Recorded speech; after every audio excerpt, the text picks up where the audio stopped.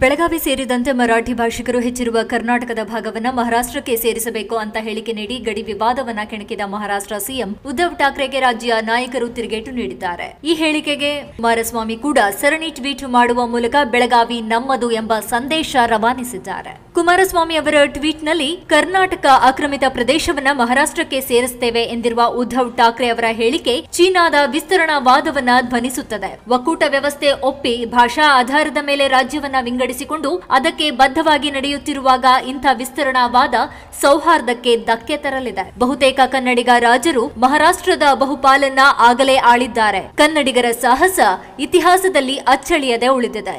ಉದ್ಧವ್ ಠಾಕ್ರೆ ಒಂದು ಬಾರಿ ಇತಿಹಾಸವನ್ನ ಅವಲೋಕಿಸಿದ್ರೆ ಈಗ ಯಾರು ಯಾರ ಪ್ರದೇಶವನ್ನ ಆಕ್ರಮಿಸಿಕೊಂಡಿದ್ದಾರೆ ಎಂಬುದು ಸ್ಪಷ್ಟವಾಗಿ ಅರ್ಥವಾಗುತ್ತೆ. ಯಾರು ಯಾರ ಪ್ರದೇಶವನ್ನ ಬಿಟ್ಟು ಕೊಡಬೇಕೆಂಬುದು ತಿಳಿಯುತ್ತೆ. ಬೆಳಗಾವಿಯಲ್ಲಿ ಕನ್ನಡ ಹೋರಾಟಗಾರರು ನೆಟ್ಟಿದ್ದ ಕನ್ನಡ ಧ್ವಜ ತೆರವು ಮಾಡಬೇಕು ಎಂದು ವಾದಿಸಿದ್ದ ಎಂಇಎಸ್ಗೆ ಸರಿಯಾದ ಪೆಟ್ಟು ಕೊಟ್ಟಿದ್ರೆ ಇಂದು ಉದ್ಧವ್ ಠಾಕ್ರೆ ಇಂಥ ಮಾತುಗಳನ್ನ ಆಡಲು ಸಾಧ್ಯವಾಗ್ತಾ ಇರಲಿಲ್ಲ. ಎಂಇಎಸ್ ಅನ್ನ ಪರೋಕ್ಷವಾಗಿ ಬೆಂಬಲಿಸುತ್ತಿರುವವರಿಂದ ಪ್ರೇರಣೆ ಪಡೆದ ಉದ್ಧವ್ ಠಾಕ್ರೆ ಇಂಥ ಮಾತುಗಳನ್ನ ಆಡಿದ್ದಾರೆ. ಗಡಿ ವಿವಾದದಲ್ಲಿ ಮಹಾಜನ ಆಯೋಗದ ತೀರ್ಪೆ ಅಂತಿಮ. ಇತ್ಯರ್ಥ ಆಗಿರುವ ವಿಷಯಗಳ ಬಗ್ಗೆ ತಗಾದೆ ತೆಗೆದು ಬೆಳಗಾವಿಯಲ್ಲಿ ಸೌಹಾರ್ದತೆಯಿಂದ ಸಹಬಾಳ್ವೆ ನಡೆಸುತ್ತಿರುವವರಲ್ಲಿ ವಿಷ ಬೀಜ ಬಿತ್ತುವುದನ್ನ ದೇಶ ದ್ರೋಹಿ ಕೃತ್ಯ ಎನ್ನಬೇಕಾಗುತ್ತೆ. ಬೆಳಗಾವಿ ವಿಚಾರಕ್ಕೆ ಬಂದ್ರೆ ಕನ್ನಡಿಗರು ಸಿಡಿದೇಳುತ್ತಾರೆ ಎಂಬುದು ಉದ್ಧವ್ ಠಾಕ್ರೆಗೆ ತಿಳಿದಿರಲಿ. ಬೆಳಗಾವಿ ಸಾಂಸ್ಕೃತಿಕವಾಗಿ, ಆಡಳಿತಾತ್ಮಕವಾಗಿ ಕರ್ನಾಟಕದ ಹೆಗ್ಗುರುತು. ಬೆಳಗಾವಿಯ ಬಗ್ಗೆ ಪದೇ ಪದೇ ಕಿತಾಪತಿ ಮಾಡುವ ಎಂಇಎಸ್ ಮತ್ತು ಮಹಾರಾಷ್ಟ್ರಕ್ಕೆ ತಕ್ಕ ಉತ್ತರ ಕೊಡಬೇಕೆಂದೇ ನಾನು ಸಿಎಂ ಆಗಿದ್ದಾಗ ಅಲ್ಲಿ ಸುವರ್ಣ ವಿಧಾನಸೌಧ ನಿರ್ಮಿಸಲಾಗಿತ್ತು.